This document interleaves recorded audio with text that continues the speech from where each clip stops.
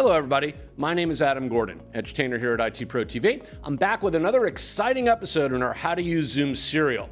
In this episode, we're going to be focusing on file sharing and screen sharing, how to optimize those meetings and those classes that many of you are probably engaging in and using Zoom to drive. Join me here, if you will. We're going to take a look at how to get started. I've got a meeting already spun up. I'm the only participant, so we're not going to worry about whether or not we've got other people and what they're going to see. We're just going to focus on some of the tools and the techniques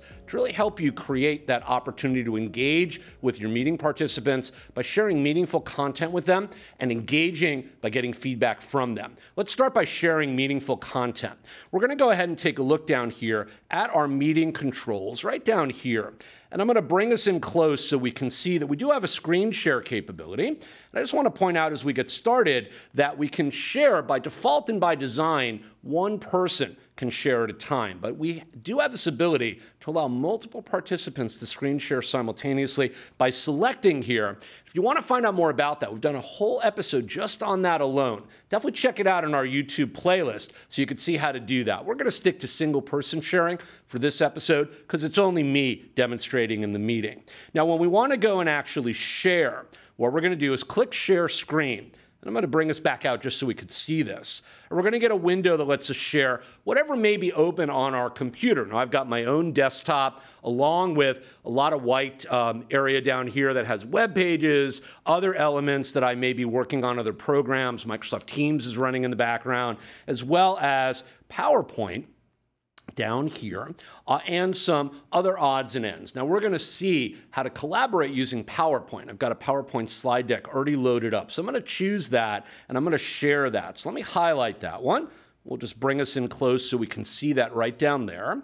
And you'll see that when I do that, I'm going to come over here to the far right. I'm going to have a little share button that's available to me. And when I click share, about two or three seconds, this window is going to go away. We're going to see the share come up, and PowerPoint will be presented front and center, even though it's not up on the screen right now. So all that happens automatically. You'll see PowerPoint is brought forward. The focus of the share is now going to be the program. Now you'll see very clearly that this is a slide deck I've already made up. It's actually one I've used to present at a conference I was speaking at in the last uh, few days on risk management and security related stuff. Uh, and so it's a deck I've already created. But let's say our example is that I want to share this with some colleagues and I want to get some feedback from them what they think before I present. And Zoom's a great platform to let me do that. Now, if you know anything about PowerPoint, you know that I can present a deck uh, and give it to somebody, let them work on it separately. I can work on it separately, but I also can show them the deck like I'm about to show you, and I can do that in what's called presenter view. So we're going to make this deck into a presentation in PowerPoint because we have full access to all the PowerPoint tools. And all I have to do is come down here and I have to turn on presenter mode so that we get that nice full screen, all of the toolbars and everything go away, the side view of all the slides goes away, and we just see that slide front and center. It's a great way for us to present if we're giving information to people. We want them to see the presentation, but also if I want to ask people for some feedback on this particular presentation, showing them various slides and maybe having a discussion quickly around them. I could do all that right from here. Now, when I put the slide up, if I come back up to my sharing area right here, I've got access to a bunch of different tools. I can pause the share momentarily. I can spin up a new share from here. I can annotate and make some notes on here with the annotation tools. I'll show you that in just a moment. But I've also got this more area right over here where I can actually bring up my ability to see people chatting and doing a variety of things if we want to get some feedback from them maybe in real time as well. The good news is the chat is not recorded on the screen. It's just available for you to see. So as a result of that, what will happen is I can have the chat up while I'm presenting. Everybody else who's watching this is not going to see the chat window unless they are actually watching the share, right, on their own screen and they bring their own chat up so they can see it, but it's invisible to people watching. So you don't have to worry about having the chat up and worry about them being able to see it while you're interacting so that people can message you and you can see what's going on. So it's a nice little additional feature that we have. Now, I mentioned that we can use the annotation tools if we want to get some feedback. And when we bring those up, we have this great toolbar. Let's just do all sorts of stuff. We can draw on this, make some notes, put a text box in, we can save it, color it, do all sorts of stuff. And then you'll see when we're done, we can come over here and save them or clear the marks depending on what we do. And then we can send these to somebody and give them notes after the meeting or after the presentation to ask them to do something. So let me quickly draw on this. And I'll take us back out just so we can see that. And better yet, instead of drawing, let me put a little text box in over here. And let me say that, you know, we think this graphic is too big.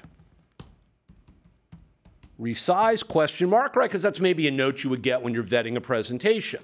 And so then we can come over here, we can click save, we'll save that, and you'll see that it's screen captured and saved, and then we get a link that says show in folder.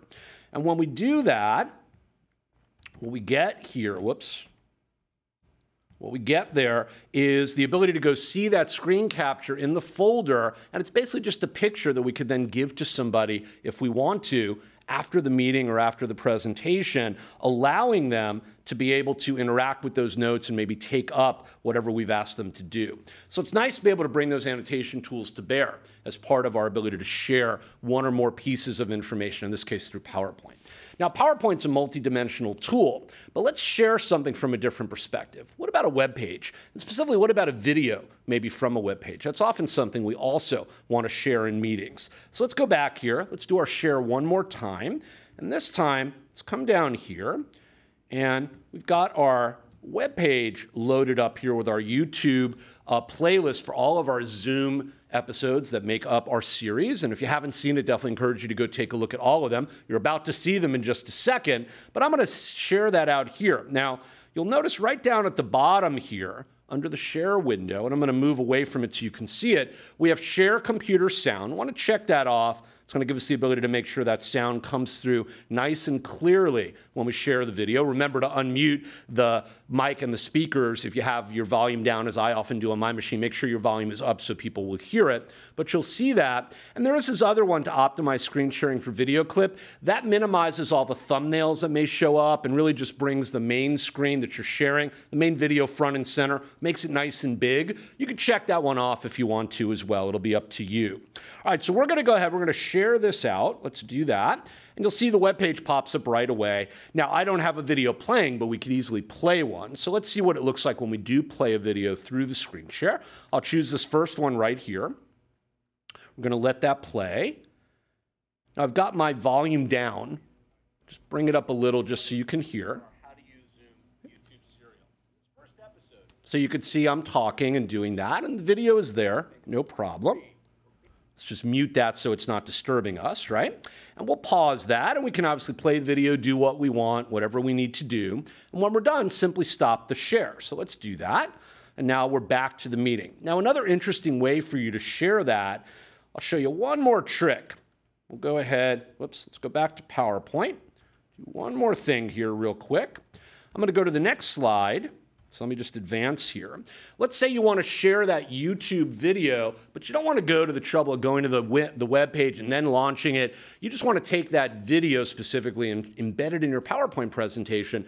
You could take the URL from the video. You just get the appropriate video where it says share under the video. Click there, get the link. You can embed it in PowerPoint, and then all you have to do right from the desktop share while you're presenting is click on that link. It's going to bring up your web page for you. Give it just a second and we're going to be there and we're going to be able to play the video. Now, I took the link for that video right from this one under the playlist, so it's not actually launching directly, but you could easily set it up to do that. It's a little extra bonus tip for you if you want to embed that link and share that video via the PowerPoint presentation.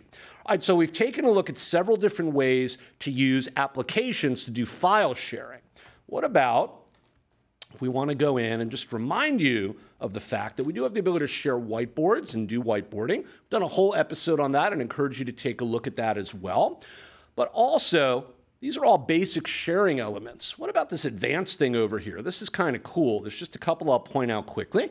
We have the option to share a portion of our screen, drawing a uh, border around it, maybe just to share one element, but not share the whole screen. You should investigate that if that's of value to you. Music or computer sound only, we could share just the sound but nothing else. And the one that I like a lot because sometimes you've got more than one camera going on, is we could share content from a second camera. These are all under advanced features and definitely worth your time to experiment with, especially if you're presenting and you have multiple cameras and you want to see different angles during a presentation. You'll have the ability to do that with the advanced features. All right, so we're going to kill our shares. And the only other thing I want to point out to you as we get ready to wrap up this episode, we have the ability to do polling, which is a great way to get feedback from participants in real time, as well as the chat feature we've already looked at. Let me show you polls real quick.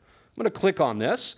Now, I've already created a poll, and you'll see it here. Are we having fun? I made it multiple choice, and we can obviously, once we launch it, encourage people to vote. But when you do this the first time, if you don't have a poll created, it opens up a separate window and it takes you out to the Zoom page where we are going to, I lost my web page. It's here somewhere where we're going to see that we actually can, let's just do it this way, where we actually can, it just opens right up if I do it this way, where we can actually modify or add or remove questions to the poll. So don't be surprised when this pops up. You're going to have to go in there and do this. And then when you're done at the bottom, add your questions, do it as often as you need to, save. And then what you're going to see is that the poll is sitting there and it's available for you.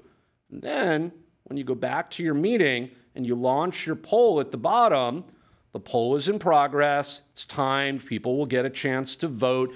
I can't vote because I'm showing you the poll, but they'll be able to vote. And then when that's all done, you say, you know what, I'm done, got enough feedback, end poll. We'll end the poll, and you get the results. And you can actually relaunch it if you need to do it again, or you can share the results with participants showing them what you did. That's a great way if you're an educator, for instance, be able to quiz your students really quickly, get some feedback, or judge participant engagement while you're in the middle of a meeting.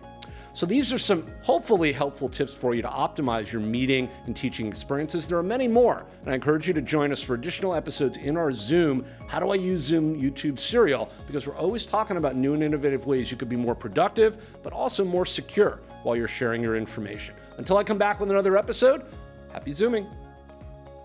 Check out the playlist for more videos on how to use Zoom and be sure to subscribe to the IT Pro TV channel. I'm Adam Gordon, and thanks for watching.